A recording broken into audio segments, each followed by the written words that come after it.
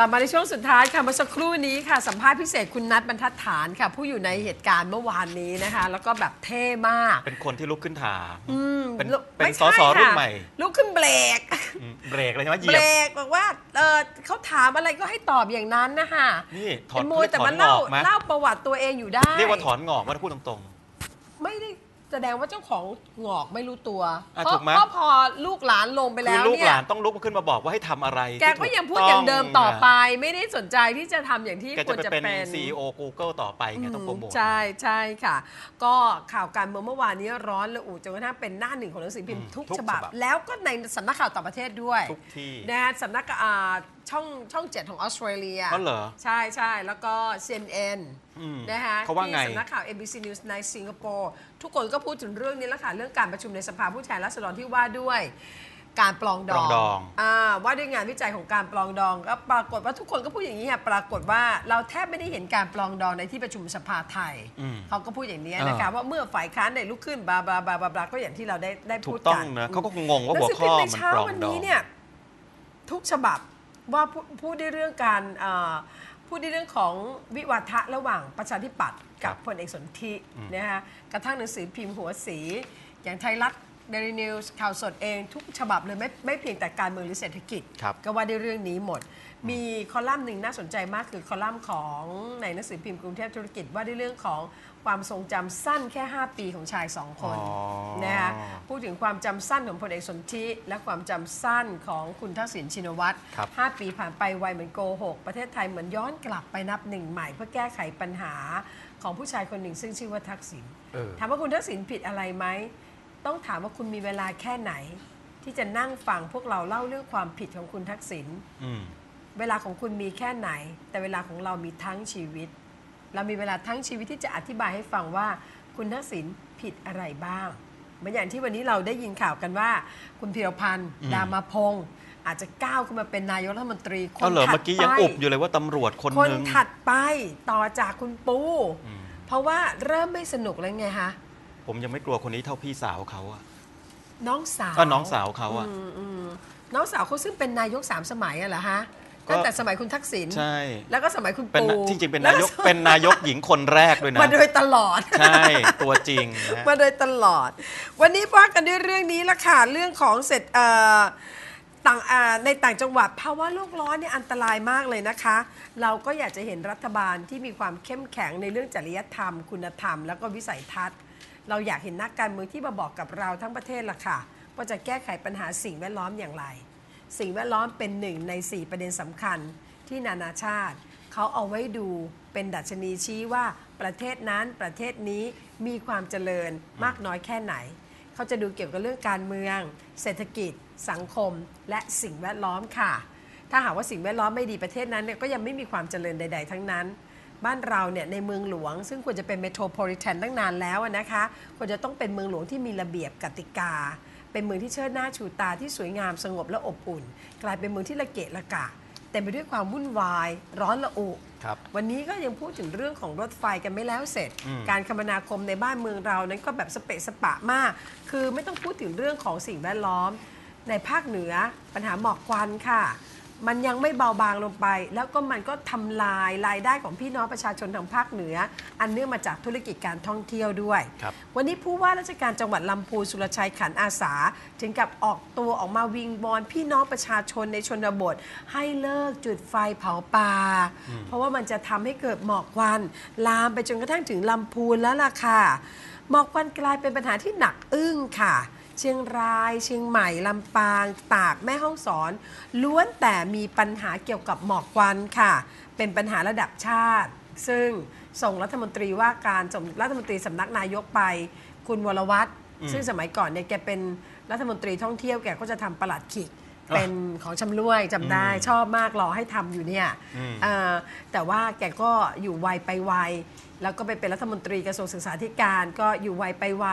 ไปถึงก็สร้างห้องใหม่เลยหมดไป 3 ล้าน อยู่เก้าอี้ยังไม่ทันจะไปแล้ว เออ ไปคนใหม่แล้วมารื้ออีก เหมือนกับผัวเมียหม้อข้าวยังไม่ทันดำอะไปแล้ว แล้วตอนนี้ก็คือคุณสุชาติชาดาดำรงเวทซึ่งนั่นก็โอ้ยก็จะแจกแท็บเล็ตไปต่างจังหวัดไฟฟ้าก็ไม่ค่อยอยากปีหน้าจะมีแจกอีกนะ มันจะแจกแท็บเล็ตเอาไว้ให้แม่ คลุกปลาร้าหรือไงเนาะเอาไว้ครับโอ้นอนหนุน เอาไว้ห่อห่อหมก เอาไว้เป็นถาดไปเลี้ยงพระอืมเป็นต้น ปัญหาหมอกควันค่ะ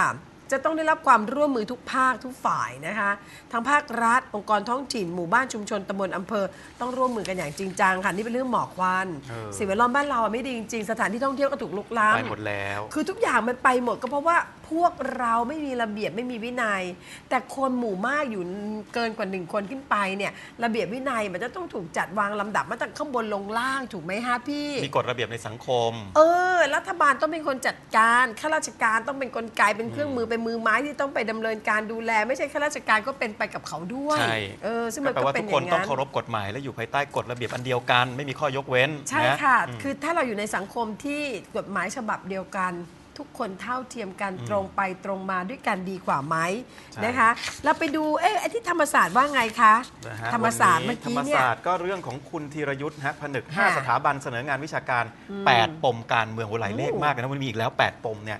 นะคุณธีรยุทธ์บุญมีครับผู้อำนวยการสถาบันสัญญาธรรมศักดิ์นะฮะได้แถลงถึงภารกิจการขยายพื้นที่เสรีภาพให้กับสังคมไทย อันนี้สดๆนะฮะจาก Manager Online นะครับก็พูดถึงว่าเอ่อ ประเด็นของสถาบันทั้ง 5 จะนำเสนอรูปแบบวิชาการต่างๆ แก่สาธารณชนในช่วงปี 255ถึง56 ครับคุณปองนะค่ะเขาบอกว่ามีความจำเป็นต่อสังคมไทยเอาประเด็นเลยนะ 8 ข้อนี่มีค่ะมีหลายเรื่องมากเลยนะ วันนี้มาเลข 8 อีกแล้ว ช่วยแปลหน่อยเถอะ8ข้อดังนี้คุณปองข้อ1ค่ะเสรีภาพในสังคมไทย ข้อ 2 เราจะแก้ปัญหา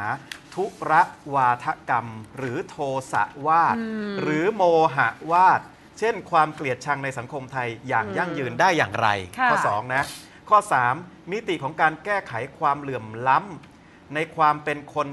สังคมไทยอย่างยั่งยืนอืมค่ะนะสี่กระบวนการยุติธรรมกับประเทศไทยในยุคเปลี่ยนผ่านอืมนี่ยากทั้งนั้นเลยนะค่ะค่ะ ห้านโยบายประชานิยมประชานิยมผลดีผลเสียต่อเศรษฐกิจสังคมการเมืองไทยหกค่ะความคิดชาตินิยมข้อดีและข้อเสีย อืม 7. ความหมายความสำคัญของความของเสรีภาพในการประท้วง การแสวงหาจุดร่วมความเหมาะสมความพอดีของเสรีภาพในการประท้วง และข้อ 8 สถาบันพระมหากษัตริย์ในสังคมเสรีประชาธิปไตย และสังคมข้อมูลข่าวสารอืมในยุคโลกาภิวัตน์เออก็ดีนะแปคะดข้คืออนักวิชาการมาถกปัญหากันว่าอันสันี้งดีคมนะไทยจะต้องปรับตัวไปอย่างไรอะจะอืมเออคือเป็นเป็นเรื่องสำคัญเป็นการเสนอความคิดเนะค่ะไม่ใช่จะเอาเป็นเอาตายกันเหมือนทางนิติราษฎร์อันนั้นก็เออแหมมากอันนี้เกิผมถือว่าเป็นความคิดดีๆเห็นทางใช่การสร้างสารรค์เพราะถามใช่คือแล้เราวเป็นช่นัวยกกันวิชาดูการไงเราเป็นนักวิชาการเราก็ต้องทำงานวิจัยใหม่อืมๆแล้วก็มานำเสนอ แต่ไม่ใช่ว่าอยู่ดีๆ จะนำเสนอยู่ดีไม่ใช่ว่าอยู่ดีๆ จะออกมาแสดงความคิดเห็นว่า เราต้องล้มสถาบันกษัตริย์นะ เพราะว่ามีอภิสิทธิ์ชนมากเกินไป ครับเราควรจะให้สิทธิพิเศษกับคนที่มีความสามารถพิเศษอืมมากกว่ามีชาติกำเนิดพิเศษ โอ้เอออั อันนี้มันก็นะ หรืออย่างเงี้ยหรือบอกว่าผมต้องการให้ค่าเงินบาทมันอ่อน ไม่ต้องเออมาเถียงฟังแล้วจะดีเองอืมอะถูกต้องไหมใช่ผม แล้วแล้ก็วจะเถียงดีน้อยเองๆหน่อยแบงค์ชาติเถียงน้อยๆหน่อยแบงค์ชาติเป็นธนาคารกลางนะจ๊ะอืมเออแบงค์ชาตินะรัเว้ฐบาลฮ้เนี่ยออเป็นมีอำนาจเหนือไม่ได้ เพราะเป็นองค์กรที่อิสระ โยแบงค์ชาตินี่นะเขานะนักเรียนทุนทั้งนั้นห้ามแตะนะ โอ้ยคือแตะได้พี่ แต่ว่าก็ไม่ใช่แบบว่าคนที่จะมานั่งพูดจาเย่อเย้ยใยพายกันแบบนี้ เออ แบงค์ชาตินะเว้ยเฮ้ยเออ ไม่ใช่ร้านขนมปังเว้ยเฮ้ย เอาล่ะเรามาดูเรื่องนี้กันดีกว่า บรรยากาศความคืบหน้าเรื่องพลุระเบิด ที่ไหน ที่สภามั้ง เออ จริงเมื่อวานไง ตายไปหลายศพนะ แต่ว่าที่ตายเละเทะคือบังอะอะบังอะตายเละก่อน ไส้แตกมาสองวันแล้วอะวันนี้ไปยืนดูเลยนะเฮ้ยหนูสงสารพี่จริง ๆ คือตอนตอนท่านลงเลือกตั้งเนี่ยเอออ่าเราก็ไปช่วยท่านไงเพราะว่าตอนที่เราเป็นม็อบเนี่ย ท่านก็ดูแลอะนะเข้านึกออกไหมใจอืม เออท่านก็ดูแล เออเรารู้จักไปกันช่วอยู่อืมอืมแล้วก็ไปช่วยท่าน ช่วยท่านหาเสียงอะนะอืมไปเดินกับท่านอยู่หลายวันเลยแหละ อ๋อเหรอโอ้ยหลายวันเลยตัวดำเป็นเหนียงด้วยกันทั้งคู่เลยนะ คือถือว่าตอนที่เราเป็นม็อบก็อันตรายด้วยแล้วเราก็เป็นม็อบครั้งแรกด้วยจำได้ไหมอะ เราก็ตกใจไปหมดอะ นิดนึงก็ตกใจหน่อยนึงก็ตกใจ เออท่านก็มีมีก็เดี๋ยวคุณใครๆก็ท่านก็มาดูแลอะไรเงี้ยนะ ก็มาช่วยเหลือกัน ก็ไปโอ้โหเห็นวันนี้เห็นท่านแล้วแบบ แต่สังเกตไหมว่าทหารหลายคนเลยนะ พอเลิกพอเกษียณอายุแล้วมาเล่นการเมืองนะ เจ๊งหมดอะเจ๊งหนึ่งหมด คือเจ๊ง คนเดียวที่พะคนรอดคือพลเอกเกรียงศักดิ์ชมนันท์ตายไปแล้วไงใช่แต่ดีนะตอนนั้นรอดนะไม่รอดมานอกจากดัเจ๊งมากนะะคือเรื่องหนึ่งคุณปองพลเอกผมรู้สึเปรมว่ท่านรอดพลเอกเปรมรอด ผมถือว่าแต่ละคนพอเข้ามานะ ที่ว่าที่ถือว่าไม่รอดนะ อืม คือเป็นปลาทองหมดอะอืมเข้าใจไหมความจำสั้น เออแต่วอานยุรอบหนึงยืนก็ลืมแต่อายุความยืนจำฉันสั้นแต่อายุอายุนั้นยืยืนนยาวยืเอนอยืนมาก แต่พลเอกชาติชายอย่างเงี้ยเขากราบอนุญาตพี่โต้งพลเอกชาติชายอ่าอย่างเงี้ยท่านก็ไม่ประสบความสำเร็จนะอืมนะแล้วก็ไม่ต้องพูดถึงพลเอกสุจินดานะไม่ต้องอันั้นเลยซันมอ ซันมา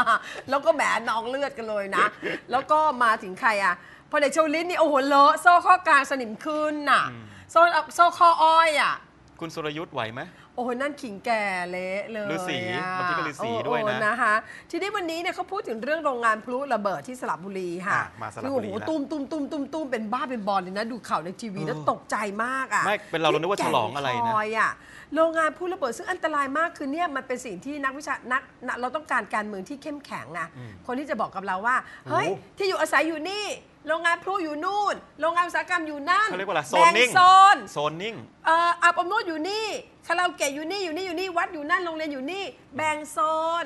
การท่องเที่ยวอยู่นี่แล้วอย่าไปลุกล้ำอะไรอย่างนี้รายการเนี่ยดูบ้านเรือนอยู่กับโรงงานพลุอะนี่ไม่ตายอะคุณพี่ ปองนี่แต่ผมดูข่าวแล้วไม่ดูเสียงแล้วปือเป็นฝรั่งนะ เข้าใจว่าบ้านเมืองเรากำลังลบกันนะ เพราะเราไม่รู้มันเกิดที่ไหน เออขอโทษนะ คล้ายๆ กับสุพรรณบุรีก่อนหน้านี้เลยอะอ๋อเออ มังกรโรงงานผลิตผู้แก่งคอยสระบุรีก็เกิดระเบิดขึ้นมาเมื่อวานนี้นะครัคะบก็หูวิ่งกันใหญ่เขาก็ตำรวจไปหาหลักฐานกันทางด้านสำนักงานป้องกันบรรเทาสาธารณภัยเนี่ยก็ประสานกันนะคะ ก็เอ่อไปดูซิว่าอากาศและน้ำได้รับผลกระทบจากเหตุระเบิดของพลุหรือเปล่า แล้วกำลังตรวจสอบหาหลักสาสาเหตุกันต่อไปนะคะแนายอำเภอแก่งคอยบอกว่าหลังจากไปตรวจสอบโรงงานพลุระเบิดประชาชนเนี่ยเสียงแตกออกเป็นสองส่วนค่ะอืมส่วนหนึ่งหวาดกลัว แล้วก็ส่วนหนึ่งบอกว่าเอานาไม่เป็นไรหรอกนานๆก็มีทีนึงอ้าว สร้างอาชีพให้คนในชุมชนเนาะฉันก็วิ่งหนีทันน่ะเออก็ต้องวิ่งกันต่อไปใช่อุ้ยมีคนชอบคุณนัทเยอะนะ คนมา SMS อะคุจณนัทริงเต็มๆก็เลเป็นยคนรุ่นใหม่ที่กล้าหาญนะ ชาวบ้านน่ะอยู่ที่อยู่ใกล้โรงงานพลุบอกว่ามีการที่พลุระเบิดเนี่ย ควายตายไปตัวหนึ่งเชื่อไหมพอชาวบ้านที่แก่งคอยบอกว่าพลุระเบิดควายตายไปตัวหนึ่งคนรีบเอาพวงหลีดไปที่บ้านจตุพรอะ อ๋อเหรอ ฉันบอกไม่ใช่จัตุพรควายตายไปตัวหนึ่งเนี่ยเอาพวงหลีฟังดผิด เอาพวงหลีดไปบ้านจตุพรอะ บอกไม่ใช่นั่นคางคพวงกหลีดหรือช่อดอกไม้ คางคกนั่นมันเชิงมันยังไม่ได้พัฒนาเป็นสปีชีส์เป็นคางคกอะไรแต่ควายตายไปตัวหนึ่งจริง ๆ ที่แก่งคอยค่ะ แล้วตัวนี้ยังมืดแปดด้านยังไม่รู้เลยว่าทำไมมันถึงพลุระเบิดได้อะนะคะ ขณะที่โรงงานพลุนั้นทั้งนายอำเภอตำรวจและก็บรรเทาสาธารณภัยถูกและถูกแม่ทุกอย่างเนี่ยยังหาเหตุไม่เจอเลยว่าทำไมโรงงานพลุที่แก่งคอยระเบิด แต่ปรากฏว่ากองทัพภาคที่4ส่วนหน้า รีบเข้าไปดูแลความปลอดภัยของคลังเก็บอาวุธตามมาตรฐานของกองทัพ และเข้มข้นมากในช่วงอากาศร้อน อืม ก็เป็นไปได้ว่าอากาศร้อนแล้วระเบิดก็ได้ คือเข้าใจไหมข่าวนี้บอกได้เลยว่าอากอากาศร้อน อืมอืมอากาศร้อนคลังทุกคลังมีเครื่องวัดอุณหภูมิค่ะ ถ้าหากพบว่าอุณหภูมิในคลังเก็บวัตถุระเบิดนั้นสูงเกิน 40 องศาเซลเซียสและสูงติดต่อกันเกิน 48 ชั่วโมง ขอให้เปิดคลังระบายความร้อน แค่นี้เหรอ นี่คือมาตรการหนึ่งเหรอ เปิดคลังแหมพี่ คลังนั้นไม่ใช่โรงศพจะได้เปิดแค่นี้ไม่ใช่ เปิดคลังระบายความร้อน และ 2 ฉีดน้ำขึ้นบนหลังคาเพื่อลดอุณหภูมิ อืม ดูมันบ้านป่าเมืองเถื่อนเนาะ ไม่ฟังดูเหมือนกับเหมือนขายพวงมาลัยอะ คือถ้าร้อนกรุณาเอาผ้าชุบน้ำแล้วคลุมไว้อย่างเงี้ย ซึ่งแปลว่ามาตรฐานความปลอดภัยของประชาชนเนี่ยไม่ได้อยู่ในมาตรฐานที่สูงพอที่เรียกว่ามืออาชีพ ถ้างั้นก็ไปอยู่ภาคอีสานซะเพราะจังหวัดอุตรดิตถ์ประกาศพื้นที่ภัยพิบัติแล้ง 9 อำเภออ้าวก็ร้อนประชาชนเหมือนกันเดือดร้อนมากเลยนะคะอุ้ยเห็นน้ำมันนอนกันสงสารนี่สหงนึ่งสารอแสยู่หนน้าทำคนเนียบน่ะเดือดร้อนค่ะหนึ่งแสนคน หนึ่งแสนคน พายุฤดูร้อนนะคะ พายุฤดูร้อนเนี่ยเอ่อ ถล่มชายแดนไทยพม่าค่ะ คือตอนนี้มีพายุฤดูร้อนมาทางชายแดนไทยพม่า ภัยแล้งในภาคอีสาน หมอกควันทางภาคเหนือ ภาคใต้ก็ยังมีระอุเหตุปัจจัยอยู่ร้อนระอุไฟใต้ ส่วนภาคกลางเนี่ยนะคะ ก็ยังไม่รู้ว่าจะทำได้ทำนากันปีนี้เป็นอย่างไร เพราะว่าน้ำท่าก็ไม่บริบูรณ์จะมาหรือไม่มา แล้วเออจำนะ คือบ้านเมืองตอนเนี้ยมีความหนักหนาสาหัสสาการมาก เพราะฉะนั้นเรื่องปลองดองอะน่าจะไม่น่าจะเป็นเรื่องที่ยังไม่ควรพูดถึงอะอืมนะคะเนี่ยพายุฤดูร้อนเต็มเลย แล้วก็เนี่ยเอ่อหมอกควันอะไรต่อมิตรอะไรเยอะแยะไปหมดเลย หมอกก็ควันแล้วนี่ก็ก็พูดถึงว่าน้ำในลำตะแรงคองอีก ลดลงค่ะ ครับ น้ำในลำตะคองลดลงนะคะทำให้ต้องลดการระบายน้ำ เขื่อนสิริกิตปรับการระบายน้ำค่ะ เพราะว่าตอนนี้ภัยแล้งทำให้เขื่อนยักษ์ใหญ่ แล้วก็คลองต่างๆ นั้นต้องลดการระบายน้ำออกไปค่ะ เพื่อที่จะต้องรับมือกับภัยแล้งให้ได้นะคะ แล้วก็ทำให้เราก็ต้องมานั่งอกสั่นขวัญแขวนกันว่า ถ้าหากภัยแล้งสั้นนิดเดียวล่ะ แล้วเดี๋ยวมีแล้วฝนพายุมามา โครมโครมโครมโครมโครมอะไรจะเกิดขึ้นก็ขอให้ทุกคนนั้นเตรียมกระสอบทรายเอาไว้ให้พร้อมค่ะ โอ้ใกล้หมดเวลาแล้ว สั่งแด้งไอ้นี้ค่ะผู้อำนวยการกับเภสัชกรโรงพยาบาลท้องแสนขัน นะคะเหตุปมยาซูโดล่องหนค่ะเนี่ยโอ้โหซูโดอีเฟรดีนนี่ล่องหนหลายที่นะพี่ครับ เนาะเยอะมาก มันร้อนแล้วระเหยเปล่า ใช่มันร้อนแล้วมันระเหยไปค่ะ เออแล้วก็คนขับรถแก๊สนะคะ ว่าชนไงสะพานที่ชนสะพานย่านพัฒนาการติดต่อขอมอบตัวกับตำรวจแล้วล่ะค่ะ ครับ นี่ก็เป็นทั้งหมดก็เป็นร้อยข่าวยามเย็นที่บลูสกายนะคะ วันนี้คุณนัทนี่ฮอตมาก เออ SMS เยอะมาก ไม่ฮอตได้ยังไงเนื้ออะหอม เขาถูกสอนมาดีมากเลยนะ ถามเขาว่าเนี่ย คุณนายกเป็นยังไงแกบอกว่าก็เป็นคนที่เอ่อค่อนข้างที่จะน่าสงสาร เออไม่ใช่แกบอกว่าเป็นคนที่ค่อนข้างที่จะแบบเธออยู่มากับการทำงานเบา อืม ไม่มีความชำนาญนะคะแล้วก็เอ่อเอ่อไม่สามารถจะบังคับทิศทางการทำงานของตัวเองได้ อืมเขามารยาทดีนะ เพราะถ้าเราถามว่าแปล คิดถึงนายกเป็นยังไงเราจะบอกว่า โง่และขี้อีกเกียจและอยู่ภายใต้บังคับบัญชาของพี่ชาย นี่แกน่ารักมากคือพ่อแม่ก็สอนมันดีอะก็ลูกใครล่ะ คุณบัญญัติหล่นไม่ไกลต้นไงอะถูกไหมเออนะแสดงว่าพ่อแม่ฉันแก่นมากนะ เสียวด้วย เสียวด้วยพรุ่งนี้ห้าโมงเย็นกลับมาเจอกันใหม่กับอาจารย์กฤษณะผมไม่ต้องขอบคุณค่ะมาเฝ้ารายการให้ตอนเช้าวันนี้แบบปิดต้นฉบับเยอะมากค่ะวุ่นวายที่สุดเดี๋ยววีรันเลยวีค่ะรันหกโมงเช้าวีรันหกโมงเช้านะคะ แล้วเดี๋ยวต่อจากนี้ไปพบกับสายล่อฟ้า มาครบสามสายป่ะจ๊ะโอ้ คุณชวนนท์หายแล้วใช่ไหมไปทำอะไรมาบีบสิวเหรอ แขกกระซอสเจ็ดหรือไงจ๊ะ เอาล่ะเดี๋ยวเจอกันกับคุณชวนนท์เขาผอมลงใช่ไหมเห็นว่ามีเอวอะ เดี๋ยวไปดูเอวคุณชวนนท์คุณสิริโชคและคุณเทพไทยนะคะสำหรับวันนี้เราสองคนลาไปก่อน สวัสดีค่ะ